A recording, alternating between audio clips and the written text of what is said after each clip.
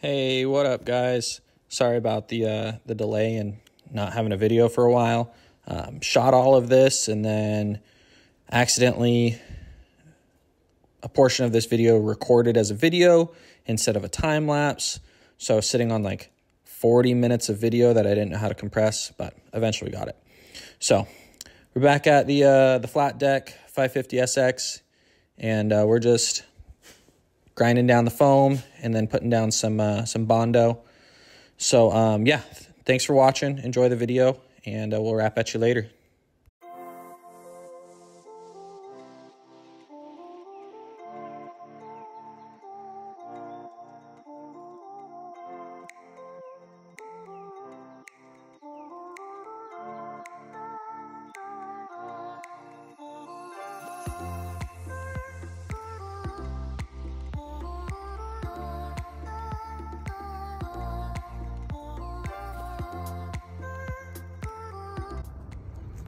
Alrighty guys, so with that, um, as you've seen, we've bondoed um, up the foam and uh, sanded it down a couple times. So add some bondo, sand it down, add some bondo, sand it down. Um, so with everything, um, it's not perfect, but it's looking pretty flat, pretty good. Um, and I don't need this to be, you know, perfectly um, perfect at the end of the day.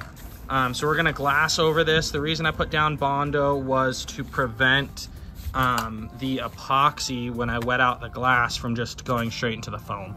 Um, so just trying to put on some type of barrier to prevent it just from soaking in. Um, so with it, we should be able to um, start laying down some glass and get this sealed up and then start getting some turf on here. Um, so just another step along the process and uh, we'll just keep chugging along.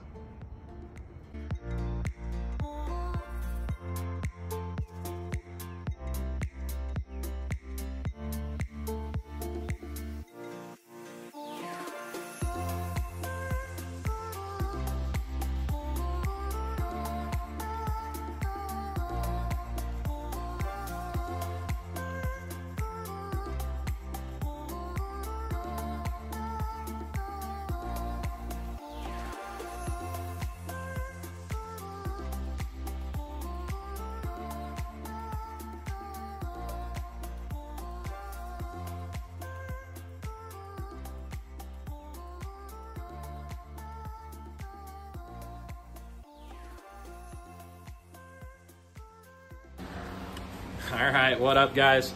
Um, been a lot of time lapses, so I'll catch you guys up. Um, so we are sanded, bondoed. Um, we're now all masked up, ready to lay some glass. So we're gonna glass in the side rails um, and the slope, and then we're also gonna glass in up here. There's two little holes on each side where the previous pads filled in. So we're gonna glass that up um, and glass the sides. So little trick with glass.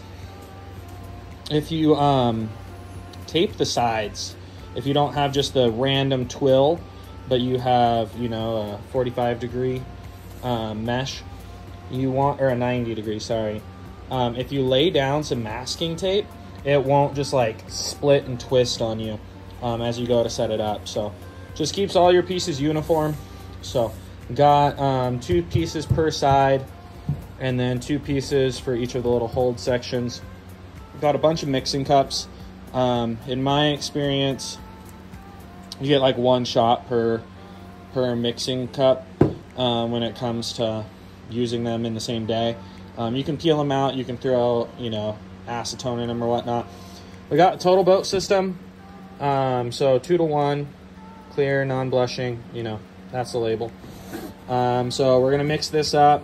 Um, I have a mixer attachment that I just bent for the front of my drill um, rather than having to use a, a stick or something similar. But um, yeah, we're going to throw you up on a tripod, probably up on the toolbox, um, facing this way, and we will get to lay some glass.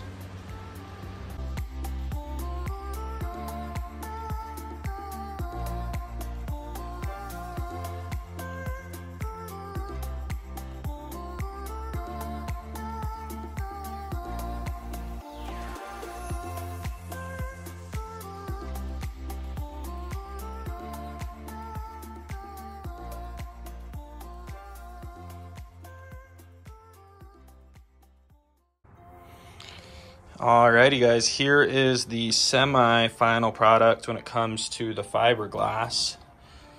So glassed in those two holes, glassed in the side rails. So next step, just gonna come in here with a sander and clear out this drip rail. I started to get it over here with just a safety razor. Um, so I'm gonna clear that out, um, knock off the sides, just get a nice flat lip, and then we're gonna throw on some contact cement and lay down our, um, our mat, our hydroturf. Um, we were back at it out in the garage, working on the flat deck jet ski. Um, so last night I went and did a little bit of work and uh, chopped up some of this mat and we laid down that initial center patch. So um, today we're gonna be working on the sides, what used to be the rails. And um, yeah, going to probably do one piece up here and then bent down the side and then do another piece up the side. So we're gonna get to it and uh, probably a bunch of time lapse for this one um, since it's just a bunch of kind of busy work, measuring and cutting and gluing it up. So we'll get to it.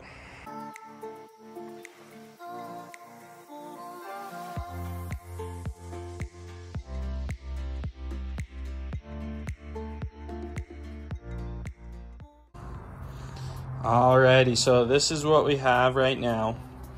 So as you can tell, there's a lot of excess just hanging over. I wasn't sure if I was gonna be able to cut this contour perfect and then also be able to lay it down with the contact cement properly and just get everything to line up. So I figured, hey, I'll put excess on and then I'll just trim it to size. So um, both sides are laid down pretty decent.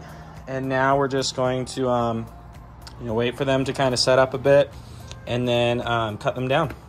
Cut them down to size and it should, uh, should trim out pretty decent.